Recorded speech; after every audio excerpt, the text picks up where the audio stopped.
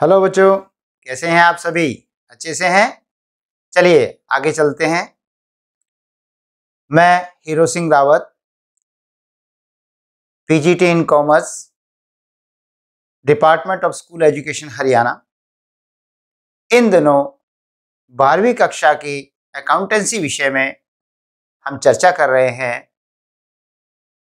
Accounting of partnership firms fundamentals साझेदारी का लेखांकन आधारभूत सिद्धांत, जिसमें आज हम चर्चा करेंगे types of capital accounts manager commission interest on loan rent paid to partner और इंटरेस्ट ऑन कैपिटल चलिए प्रारंभ करते हैं। क्यों आज हम करेंगे types of partners capital accounts यानी साझेदारों की पूंजी खाते कितने प्रकार से बनाए जाते हैं। इससे पहले हमने सीखा था, ये कैपिटल अकाउंट था।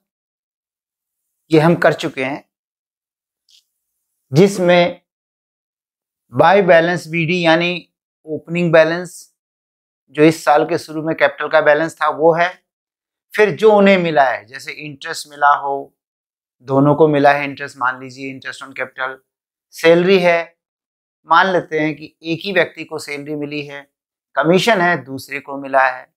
इसी प्रकार से उन्होंने जो ड्राइंग की थी, वर्ष के दौरान वो घटा दी और इंटरेस्ट ऑन ड्राइंग भी घटा दिया और लास्ट में बैलेंस सीडी बच गया। ये हम कर चुके हैं। कर चुके हैं कि नहीं? याद है ना? तो हम ये कर चुके हैं। हम आज कर रहे हैं टाइप्स ऑफ़ कैपिटल अकाउंट तो एक टाइप तो ये है।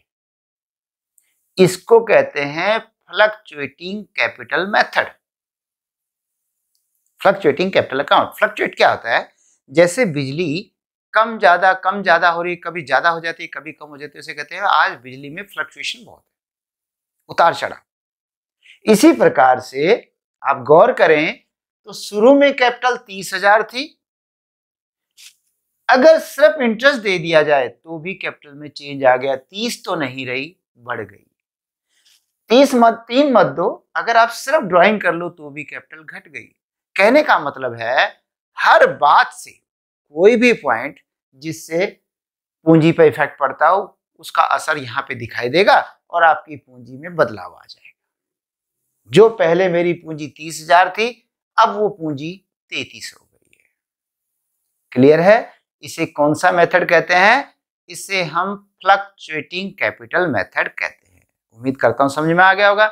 यानी आप इस मेथड को जानने से पहले ही ये कर चुके थे, बस पता नहीं था कि इसका नाम क्या है। तो इसका नाम क्या है?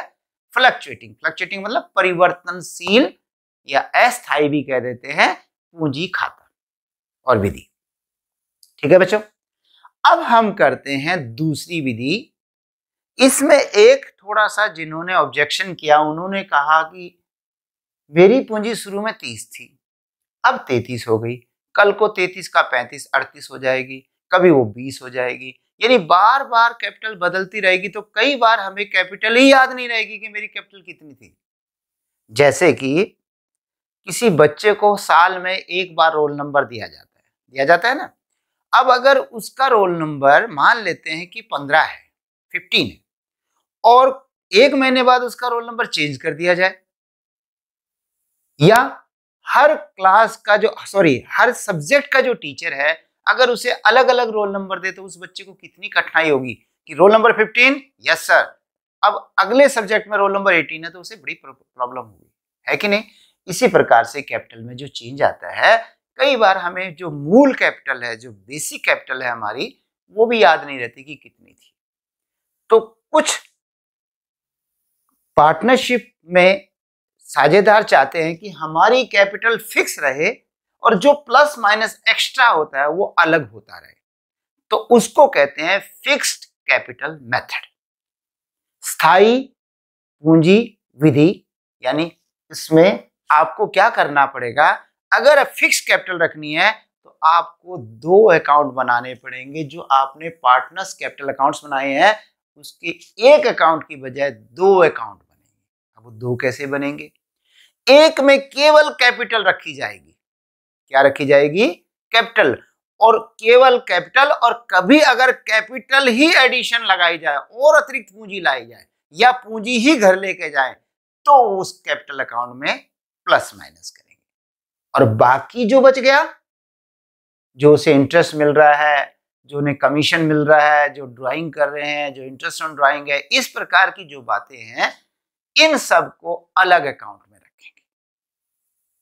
अब देखते हैं कैसे करते हैं। देखिए बच्चों, हम यहाँ पर थोड़ा सा गैप कर देंगे। यहाँ तक एक अकाउंट बन जाएगा ये। ये मेरा एक अलग अकाउंट हो गया और इससे नीचे का एक अलग अकाउंट बन गया।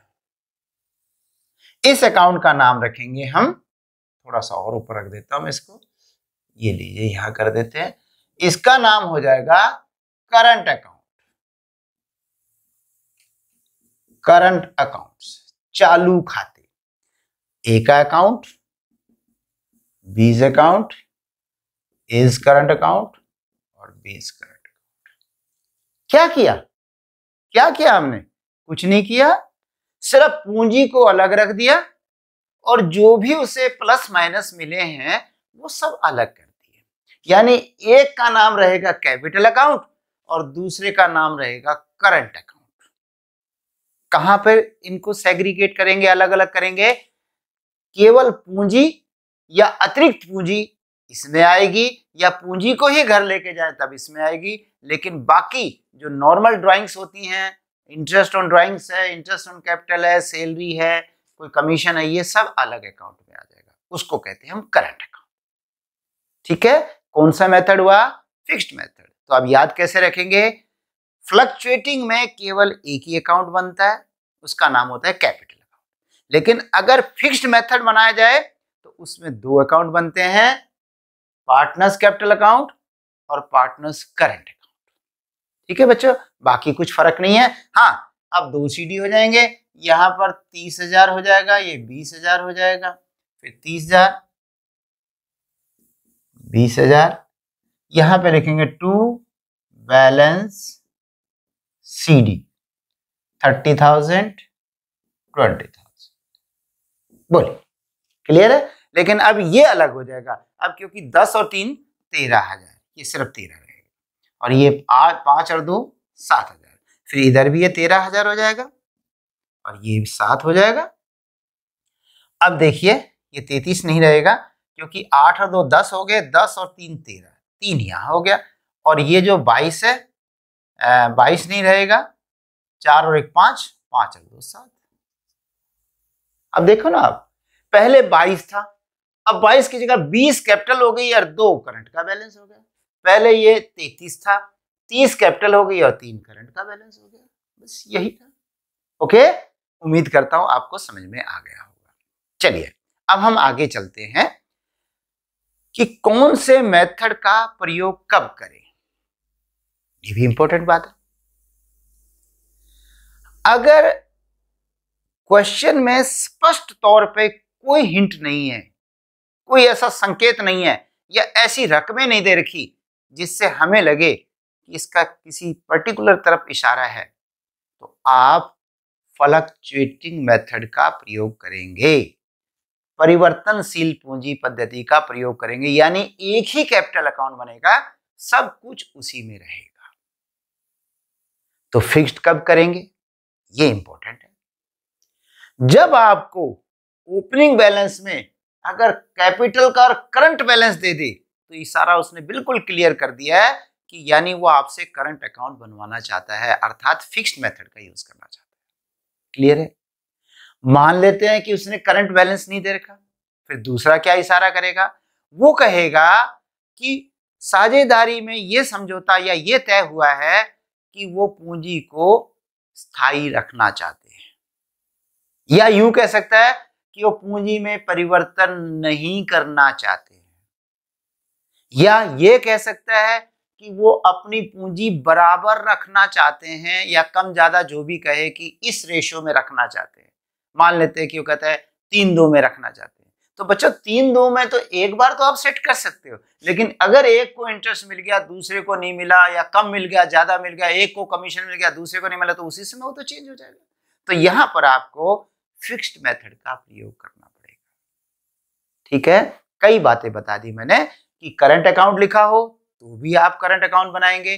अगर कहता है कि वह भविष्य में अपनी पूंजी फिक्स रखना चाहते हैं तो भी हो सकता है। वो कहता है कि अपनी पूंजी बराबर रखना चाहते हैं। जैसे इसकी तीस और बीस है, बराबर रखने का मतलब हुआ कि इसको दस वापस दे दो। तो यहाँ पर दस कैपिटल विड्रॉ हो जाएगी। लेकिन आइंदा के लिए तो फिक्स हो जाएगी ना। तो यहाँ पर आपको करंट अकाउंट बनाना पड़ेगा। ठीक है बच्चों? चले आगे? चलिए, अब आगे चलते हैं।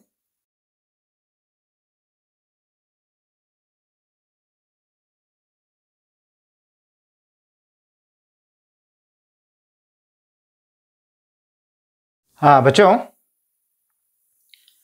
अब हम करेंगे managers commission on net profit. यानी मैनेजर को शुद्ध लाभ पर कमीशन देना। क्यों देते हैं कमीशन? जब मैनेजर को आप सैलरी दे रहे हो तो कमीशन क्या देना? दो दो दो दो बेनिफिट क्यों दे? देना पड़ते सैलरी देने से कई बार शिथिलता आ जाती है। शिथिलता मतलब सैलरी तो मिलनी है। आप ज़्यादा काम करो, चाहे ना करो तो ऐसे में कई बार प्रोत्साहन नहीं मिलता अच्छे काम करने वाले को। और कई बार कुछ लोग उसे चिढ़ाते भी हैं कि देखिए, आप इतनी मेहनत करते हो, तब भी आपको इतनी सैलरी मिलती है। हम मेहनत नहीं करते या बहुत कम करते हैं, तब भी हमें सैलरी बराबर मिलती है। तो कई बार हताश भी करते हैं लोग।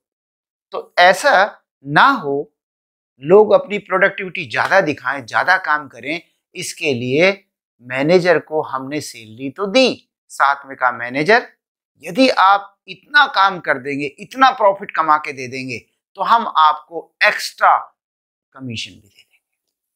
आपकी सैलरी तो है, पर अगर और आप एक लिमिट से ज़्यादा प्रॉफिट कर दोगे, या इतना पर, जितना प्रॉफिट करोगे, हम उसका आपको इतना परसेंट कमीशन दे देंगे। इससे मैनेजर और उत्सुकता से, और मेहनत से काम करेगा, लगन से काम करेगा।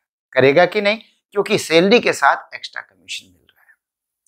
चलिए तो अब कमीशन हम कैसे देते हैं मैनेजर को? दो तरीके से दे सकते हैं। Commission on profit before charging such commission. ये कमीशन घटाने से पहले के लाभ पर कमीशन और commission on profit after charging such commission और कमीशन घटाने के बाद आए लाभ पर कमीशन। नहीं समझ में आया? कोई बात अब समझाएँगे अब एक्सप्लेन करेंगे आपको commission on profit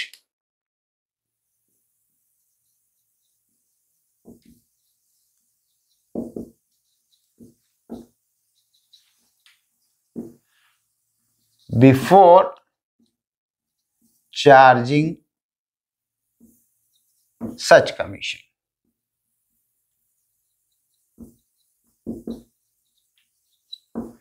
Commission on profit before charging such commission यानी कमीशन देने से पहले के लाभ पर कमीशन देना। कमीशन देने से पूर्व के लाभ पर कमीशन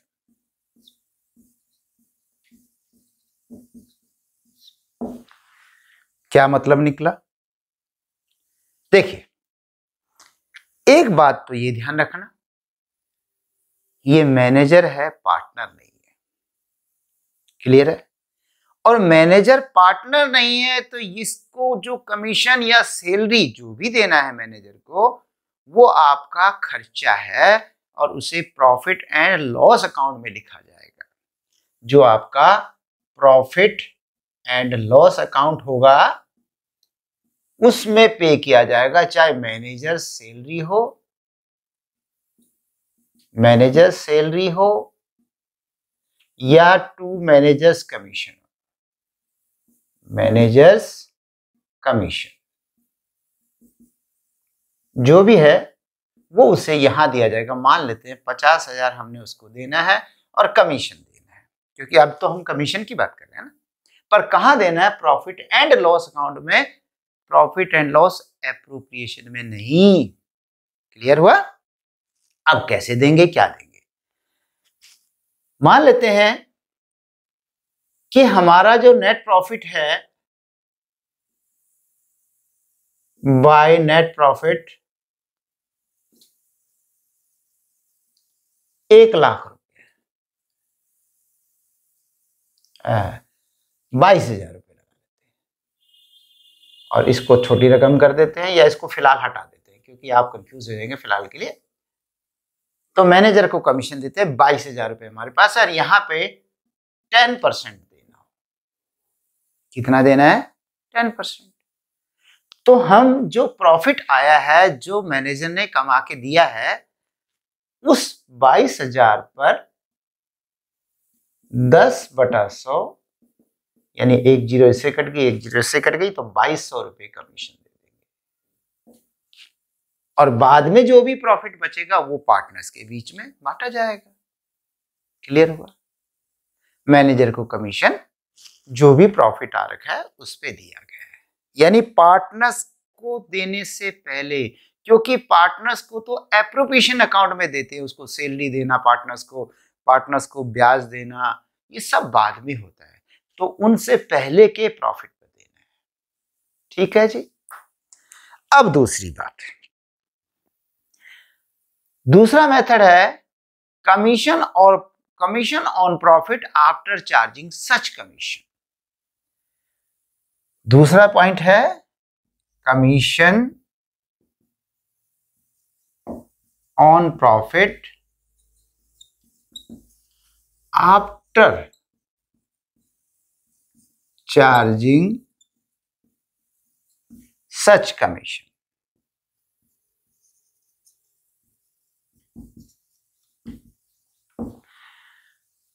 Commission देने के पश्चात के लाभ पर कमीशन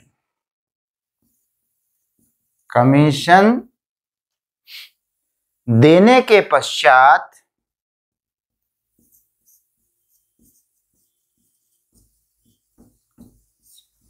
के लाभ पर कमीशन। कमीशन देने के पश्चात के लाभ पर कमीशन। हमने कमीशन देना है, बिल्कुल देना है। लेकिन थोड़ा सा चालाकी चल के, थोड़ा सा पैटर्न को बदल के हम कुछ प्रॉफिट कर सकते हैं। ये बाईस हज़ार है इसको बाईस हज़ार करोड़ भी तो मान सकते हो। जहाँ बहुत बड़ी बड़ी संस्थाएँ होती है, चलो इतना ना माने, बाईस लाख मान लीजिए, दो करोड़, बाईस करोड़ मान लीजिए। तो इस पर कमीशन देना, अगर हम थोड़ा सा लैंग्वेज में बदलाव कर दे तो देखिए फ़र्क आ जाता है। क्या फ़र्क है? कमीशन अब भी यहीं पर देना है, मना नहीं कर रहा लेकिन अब ये थोड़ा सा चेंज आएगा। देखिए कैसे, पहले बाईस दिया गया ना? अब क्वेश्चन कहता है commission on profit after charging such commission हमने मैनेजर को कहा मैनेजर हम आपको शुद्ध लाभ पर, कौन सा शुद्ध लाभ? जो हमारे घर जाने लायक हो, यानी जिसे मैं लाभ के तौर पे घर ले जा सकता हूँ, उसका दस परसेंट आपको कमीशन दूँगा। नहीं समझे? फिर से समझते हैं। आप मेरे पास जितना पैसा लाओगे, उसमें से मैं आपको कमीशन दूँगा। तो बताइए, क्या जितना लाओगे सारा मैं घर ले जा सकता हूँ? मैनेजर बोला, नहीं जी, कैसे ले जाओगे? क्योंकि मुझे कमीशन भी तो दोगे। तो हमने कहा, बिल्कुल ठीक, आपको कमीशन देना मेरे लिए खर्चा है एक्सपेंसेस है। तो इस खर्चे को भी देने के बाद जो प्रॉफिट आएगा उसका टेन परसेंट इंटरेस्ट कमीशन दूँगा मैं आपको? देखिए क्या मतलब निकला। मान लेते हैं कि मैनेजर मेरे पास बाईस हज़ार रुपए लेके आया, बाईस हज़ार। ओके। अब ये बताइए, क्या ये बाईस के बाईस हज़ार रुपए मैं अपने घर ले जा सकता हूँ? बिल्कुल नहीं, क्योंकि यदि ले जाने लगा, मैंने कहा मैनेजर थैंक यू मैं चला। मैनेजर कहेगा सर कमाल कर रहे हो। आपने ही तो कहा था कि आपको टेन परसेंट कमीशन देंगे। ओहो, गलती हो गई अभी देता हूँ। तो जब मैं उसे बाईस हज़ार में से मान लेता हूँ कि दस परसेंट, यानी बाईस सौ रुपए बनता है, यदि मैं उसे कमीशन दे दूँ तो मेरे पास बचेंगे उन्नीस हज़ार आठ सौ रुपए। यानी बाईस सौ तो मैं मैनेजर को दे दूँ तो बाकी मेरे पास कितना बचेगा? उन्नीस हज़ार आठ सौ रुपए। और हमारी कंडीशन क्या थी? कि जितना मेरे घर जाएगा, जितना मुझे शुद्ध लाभ होगा उसका टेन परसेंट आपको कमीशन दूँगा। तो मेरे घर तो उन्नीस हज़ार आठ सौ गया। और अगर मैं इसका टेन परसेंट निकालूं तो मुझे आपको उन्नीस सौ अस्सी देना चाहिए। है कि नहीं? लेकिन अगर मैं बाईस हज़ार में से उन्नीस सौ अस्सी रुपए ही देता हूँ, उन्नीस हज़ार उन्नीस सौ अस्सी रुपए देता हूँ तो ये बच गया बीस हज़ार बीस रुपए। बीस हज़ार बीस रुपए। अब अगर बीस हज़ार बीस बचते तो मैं उसको अगर उन्नीस सौ अस्सी दूँ, वो कहेगा, चलो जी, ठीक है, आपकी बात वाले फिर मैनेजर कहेगा, सर, आपके घर कितने गए? मैंने कहा, बीस हज़ार बीस। और कहता आपने मुझे कितने दिए? मैंने कहा, उन्नीस सौ अस्सी. तो कहता जी, कहाँ आपकी बात भी सही बैठी? आपने कहा था, जितने आपके घर जाएँगे उसका टेन परसेंट तो मुझे बीस हज़ार बीस का दो हज़ार दो रुपए दो। तो ये तो बार बार दिक्कत आ रही है। तो इसका समाधान क्या है? आइए हम करते हैं, इसको सॉल्व करते हैं। देखिए बच्चों profit before managers commission M commission मतलब मैनेजर्स कमीशन समझ लीजिए। कितना है मैनेजर कमीशन बाईस हज़ार प्रॉफिट सॉरी प्रॉफिट है। मैनेजर को कमीशन देने से पहले प्रॉफिट कितना है? बाईस हज़ार रुपए। ठीक है? अब देखिए।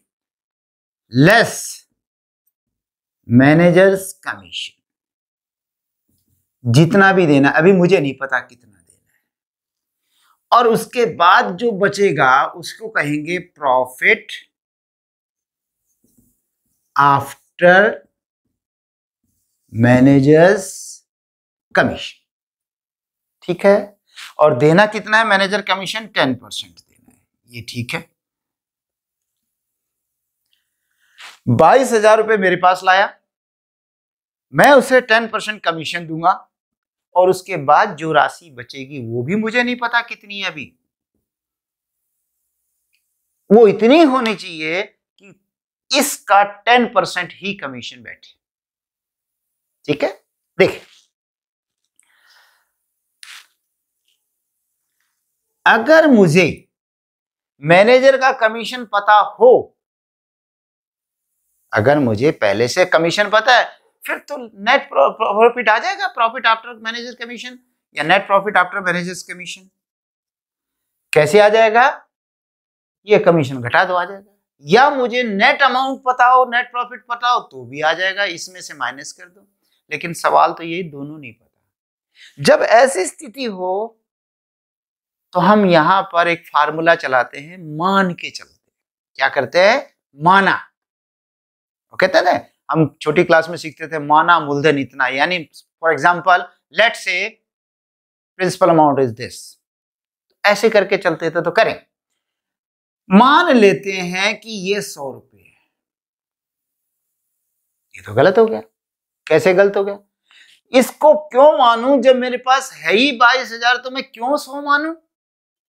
बिल्कुल ठीक है, जब है तो मानने की ज़रूरत क्या है? मानना हो। तो या तो कमीशन को मानो या ये मानो प्रॉफिट आफ्टर कमीशन क्योंकि जो चीज़ नहीं है वो मानिए ना। हाँ तो चलते मान लेते हैं कि ये सौ रुपये है।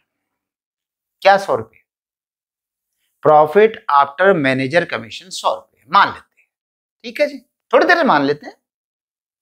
अगर सौ रुपये मेरी जेब में जाते हैं तो बताइए मैनेजर की जेब में कितने जाने चाहिए? सौ का टेन परसेंट, टेन रुपीज़ तो मैनेजर को मिलनी चाहिए टेन रुपीज़ मानते हो? अच्छा अब आगे। अगर मैनेजर को टेन रुपीज़ जाएँगे और मेरी जेब में सौ रुपए जाएँगे तो बताइए मैनेजर मेरे पास कितना प्रॉफिट लेके आया होगा? वो लाया होगा एक सौ दस रुपये क्या मानते इस बात को?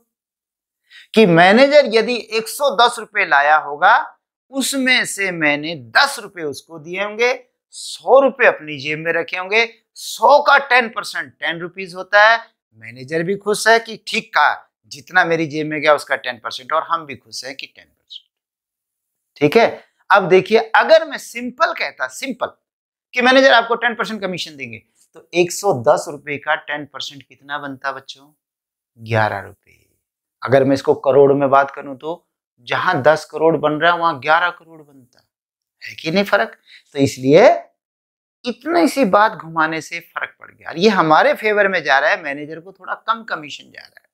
तो ये देखिए तो यहाँ पर ये मैंने माना था let say this this is let let say मान लेते हैं। माना सौ रुपए। अब सारे नहीं माने। अगर ये सौ है तो नेचुरल है कि ये दस होगा और ये दस है तो ये एक सौ दस होगा। कोई बच्चा कहेगा सर मैं सौ की जगह कुछ और मान सकता हूँ। बिल्कुल मान सकते हो। आप इसको दो सौ मान लो। अगर ये दो सौ है तो दो सौ का दस परसेंट बीस रुपये हो जाएगा भाई। और बीस हो जाएगा तो ये दो सौ बीस हो जाएगा। वो तो आपकी मर्ज़ी है कुछ भी माना। लेकिन हम ज़्यादातर सौ क्यों मानते हैं?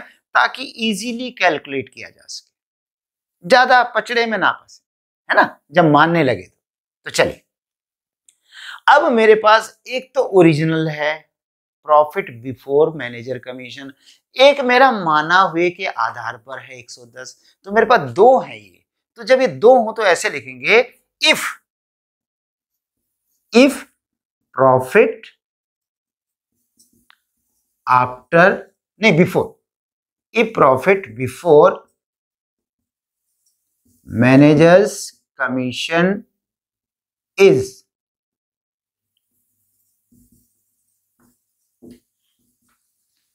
twenty two thousand. Then नहीं, पहले hundred ten. Hundred and ten then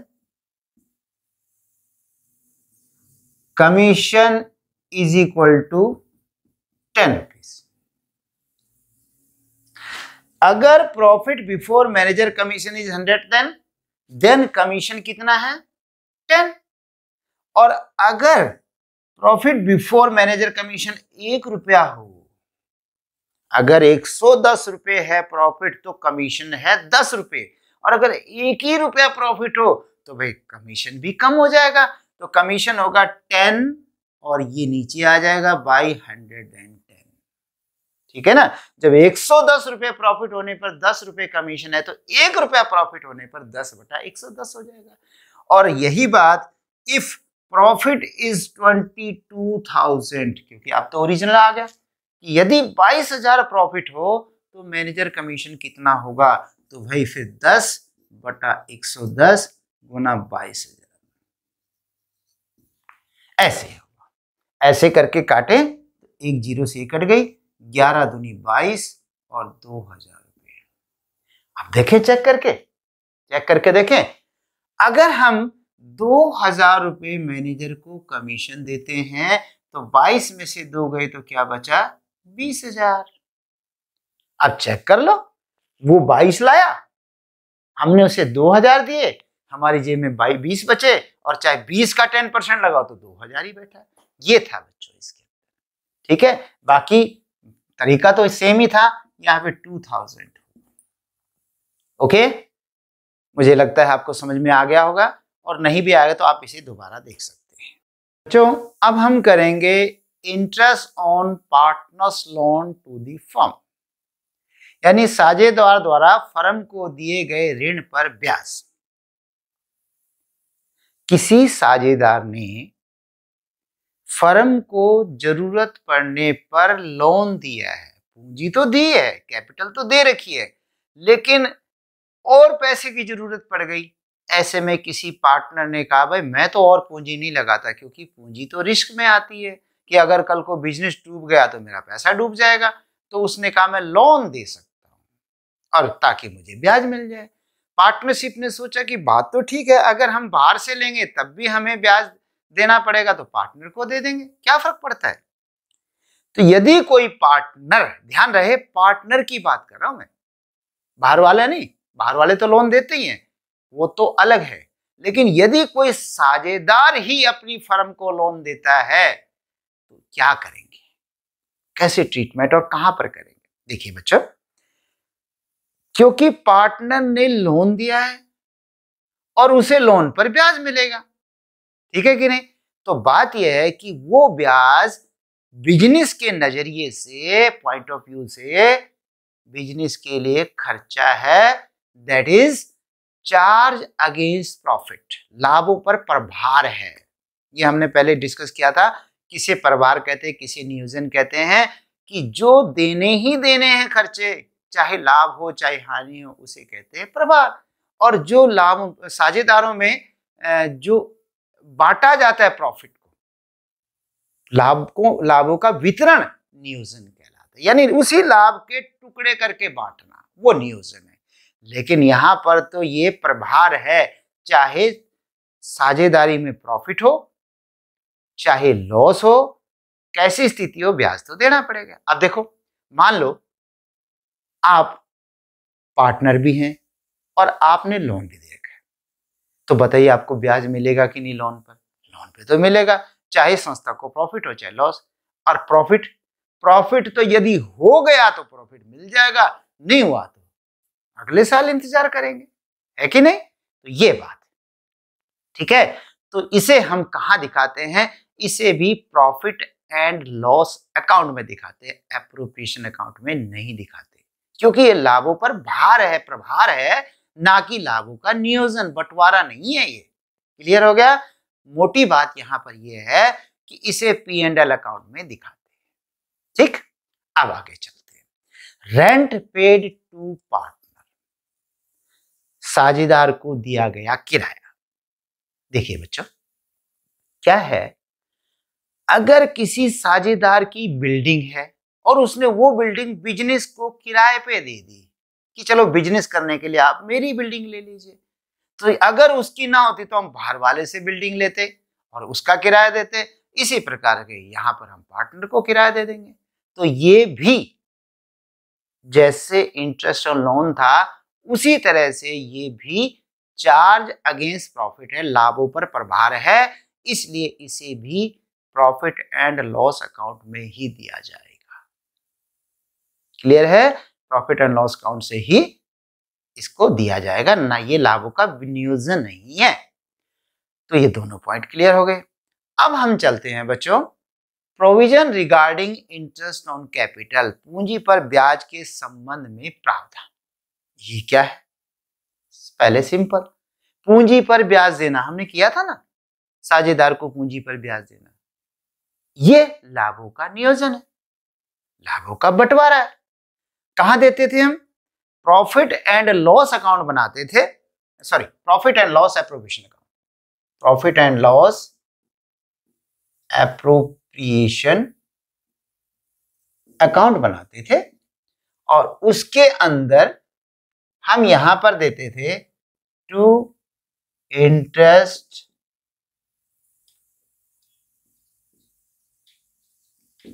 on partners capital accounts as B C जो भी था, उनको यहाँ पर देते थे। ठीक है? और बाद में ये इंटरेस्ट कैपिटल अकाउंट में कहा चले जाते हैं? सोचो, क्रेडिट साइड में। किया था ना? अब सवाल आया है कि इंटरेस्ट ऑन पार्टनर्स कैपिटल कब देना है, किस स्थिति में देना है, कितना देना है? आप कहेंगे, सर, इसमें भी कुछ सोचने की बात है। बिल्कुल है। बिल्कुल है। आइए बात करते हैं। बच्चों, नंबर एक पूंजी पर ब्याज केवल साझेदारी संलेख में उल्लेख होने पर ही दिया जाएगा। सिंपल। अगर पार्टनरशिप डीड में आपने ब्याज देने के संबंध में कोई प्रावधान नहीं किया है तो ब्याज नहीं मिलेगा। मान लेते हैं, एक पार्टनर ने ज़्यादा राशि दे रखी थी और पहले से कोई समझौता ही नहीं था इस बारे में ब्याज देने के। और बाद में जब प्रॉफिट हुआ, वो कहता मुझे ब्याज दो, क्योंकि तुम्हारी पूंजी कम है, मेरी पूंजी ज़्यादा है। क्योंकि पहले से पार्टनरशिप डीड में इस बारे में बात नहीं हुई, इसलिए उसे ब्याज पाने का हक नहीं है, चाहे वो कोर्ट में भी क्यों ना चला जाए। क्योंकि कोर्ट ने ही तो ये जो कानून बनाए, ये कानून जो बने हैं, इसके आधार पर ही तो फैसला होता है। ठीक है? अब चलते हैं दूसरी बात। यानी ब्याज देने की पहली शर्त है कि नंबर एक संलेख में तो होना ज़रूरी है, उल्लेख होना ज़रूरी है। अब नंबर चलते हैं दो। साझेदारी संलेख में उल्लेख होने के उपरांत भी, यानी पहले तो संलेख में उसका उल्लेख चाहिए, लेकिन उसके बावजूद भी पूंजी पर ब्याज तभी दिया जा सकता है यदि फर्म में लाभ उपलब्ध हो। यदि फर्म में लाभ है तो दे सकते हो। अर्थात हानि होने की दशा में पूंजी पर ब्याज नहीं दिया जा सकता। ये बड़ी अजीब बात है। लाभ है तो ब्याज देंगे। और लाभ की बजाय पहले हानि हो रही है, हालाँकि कह रखा है कि ब्याज देना है तो ब्याज नहीं देंगे। यानी ये शर्त भी लागू होनी चाहिए, पहले डीड में होना चाहिए और उसके बाद आपके पास पर्याप्त मात्रा में लाभ भी होना चाहिए। देखा, दो शर्तें हो गई। अब तीसरी शर्त, ये तो क्लियर होगा, अगर लाभ है तब तो ब्याज दे देंगे। ठीक है? और बाय दिवे लाभ नहीं है तो तो नहीं देंगे। अच्छा एक सिचुएशन और भी तो बन सकती है। थोड़ा लाभ है। थोड़ा लाभ है। तो आइए उस पर पॉइंट चलते हैं। यदि लाभ की राशि पूंजी पर दिए जाने वाले ब्याज की राशि से कम हो तो सभी साझेदारों को उनकी पूंजी पर ब्याज उपलब्ध लाभ की अधिकतम सीमा तक ही दिया जा सकता है। मतलब मान लेते हैं कि हमने इसको ब्याज तीन हज़ार रुपये देना है इसे दो हज़ार देना है, इसे एक हज़ार देना ये ब्याज की बात कर रहा कुल हमें छह हज़ार ब्याज देना है। हमारे पास प्रॉफिट है by profit and loss account being profit मान लेते हैं हमारे पास प्रॉफिट दस हज़ार रुपये ठीक है? या नौ हज़ार लगा लेते हैं, इसको सही बन जाएगा। नाइन थाउज़ेंड है और मान लेते हैं एबीसी पार्टनर्स की रेशियो है, लाभ हानि बांटने की बराबर है। प्रॉफिट एंड लॉस की रेशियो बराबर है।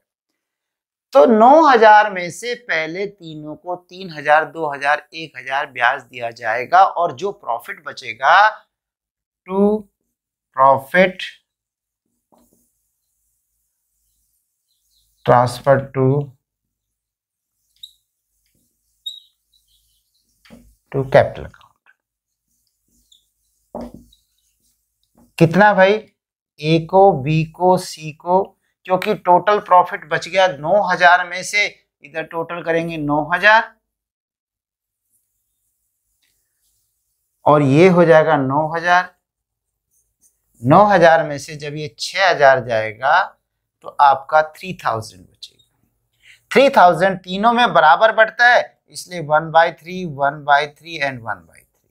तो वन थाउज़ेंड वन थाउज़ेंड और वन थाउज़ेंड। क्लियर है? ऐसे मिलेगा। अच्छा जी। अब अगर सिचुएशन आ गई कि बाई दी वे आपके पास प्रॉफिट तीन हज़ार ही हो, और आपने देना है, ब्याज ही छह हज़ार देना है और लाभ तो दूर की बात है तो ऐसे में प्रॉफिट तो नहीं मिलेगा। मैं कह रहा हूँ, ब्याज भी पूरा नहीं मिलेगा। तो क्या करेंगे? तो मैंने बताया ना कि अधिकतम सीमा तक जितना आपके पास उपलब्ध लाभ है, उतना ही ब्याज दोगे। फिर तो तीनों को एक एक हज़ार दे दे। नहीं भाई, ये तो लाभ हानि बट गया। नहीं, एक हज़ार एक हज़ार नहीं देंगे। क्योंकि इन तीनों की पूंजी पर जो ब्याज है, ब्याज, मैंने पूंजी की बात नहीं करी, मैंने ब्याज की बात करी है कि इसका ब्याज बनता है तीन हज़ार, ओके? इसका बनता है टू थाउज़ेंड और इसका बनता है वन थाउज़ेंड ओके? तो तीनों का ये इंटरेस्ट है, इसमें रेशो बनाओ। रेशो कैसे बनती यदि तीनों की पीछे जितनी ज़ीरो कट सकती है, काट दो तो बचा आपका three is to two is to one और तीनों का टोटल करेंगे three plus two plus one six तो थ्री बाई सिक्स इसे मिलेगा टू बाई सिक्स इसे वन बाई सिक्स इसे। कोई बच्चा कहेगा, सर, अगर ऐसा ना कट सकता हो तो मान लेते हैं, इसका इकतीस सौ है और इसका इक्कीस सौ है। चलो दो ज़ीरो तो कटी, और अगर दो भी ना कटती हो, चलो ऐसा कर लेते हैं थ्री सेवन और ये हो गया टू एट कुछ भी हो, और ये नहीं कटता तो बच्चे इसका जो टोटल बनेगा दोनों का, वही हो जाएगा। और उसके, इसके नीचे लिख देंगे, इसके नीचे लिख कर वो रेशियो बन जाएगी। पर जितना संभव हो, उतना काट दीजिए। तो यहाँ पे three two to two one हो गया। तो थ्री टू वन में इस थ्री थाउज़ेंड को बांट दिया जाएगा। तो थ्री टू वन में मतलब इसे थ्री बाई सिक्स मिलेगा, इसे टू बाई सिक्स मिलेगा, इसे वन बाई सिक्स मिलेगा, जो भी उपलब्ध लाभ है। तो तीन हज़ार का थ्री बाई सिक्स यानी सिक्स फाइव जा फाइव थ्री जा फिफ्टीन इसको पंद्रह सौ रुपये मिलेगा। और इसका वो एक हज़ार बन जाएगा, इसको पाँच सौ ऐसे। क्या समझाया? अगर लाभ ज़्यादा है तो पूरा ब्याज मिल जाएगा। अगर लाभ है ही नहीं तो ब्याज नहीं मिलेगा। और अगर लाभ कम है, किससे कम? जितना ब्याज देना है तो सबको कम मिलेगा। कितना मिलेगा, कैसे मिलेगा? उनका जितना ब्याज बनता था। उससे रेशो निकाल लो और उस रेशो में उस रकम को बांट दो। इस तरीके से ये तीनों को थ्री थाउज़ेंड रुपीज़ डिस्ट्रीब्यूट हो गए और लाभ की तो बात ही मत सोचो, लाभ तो होगा ही नहीं। लाभ का तो पॉइंट ही नहीं आएगा। ठीक है बच्चों, ये बात थी। अब एक बात और। चौथा पॉइंट है, परंतु यदि साझेदारी संलेख में पूंजी पर ब्याज को लाभों पर प्रभार मानने को कहा जाए। यदि क्वेश्चन वाला ही कहता है, जी, इसे चार्ज अगेंस्ट प्रॉफिट माना जाए, लाभों पर प्रभार माना जाए। जब प्रभार मानते हैं तो देना ही देना है। कहा गया हो तो ऐसी दशा में सभी साझेदारों को पूरा पूरा ब्याज दिया जाएगा, चाहे फर्म में लाभ अथवा हानि की कोई भी दशा क्यों ना हो। मतलब हमारे पास प्रॉफिट कितना है? थ्री थाउज़ेंड ठीक है? और क्वेश्चन कहते हैं, नहीं, इसे प्रभार मानो, इसे प्रभार मानो। तो भाई, फिर तो आपको इसको पूरा तीन हज़ार देना पड़ेगा। इसको पूरा दो हज़ार और इसे पूरा वन थाउज़ेंड रुपीज़ देना पड़ेगा। यानी आपको सिक्स थाउज़ेंड ही पे करना पड़ेगा। चाहे इसकी वजह से मेरा लॉस हो गया। सिक्स थाउज़ेंड यहाँ लिखेंगे, फिर सिक्स थाउज़ेंड यहाँ लिखेंगे और सिक्स थाउज़ेंड में थ्री थाउज़ेंड के तो थ्री थाउज़ेंड का लॉस हो गया। और यहाँ पे by loss distributed yeah profit and loss count by profit uh, by profit sorry loss by loss distrib uh, distributed in A's account, B's account, C's account. तीनों को बांट देंगे अब तीनों की रेशियो मैंने क्या बताई थी? लाभ हानि की तो बराबर रेशियो थी ना थ्री टू वन नहीं। क्योंकि रेशियो तो उनकी बराबर मानी थी ना तो बराबर है तो one thousand one thousand and one thousand तीनों एक एक हज़ार रुपए भुगतेंगे। लीजिए, अब एक तरफ़ यहाँ तीन हज़ार मिलेगा एक और, एक हज़ार भुगतेगा तो कुल मिला के दो हज़ार मिले। जबकि अभी थोड़ी देर पहले हमें कितना दिया था उसको? पंद्रह सौ। देखिए फ़र्क आ गया ना? तो ये है। तो समझ गए बच्चों सभी कि क्या करना है इसमें? कि यदि क्वेश्चन कहता है कि लाभों पर प्रभार माना जाए चार्ज माना जाए तो पूरा का पूरा ब्याज देंगे, चाहे उसकी वजह से विपरीत दिशा बन जाए, हानि हो जाए।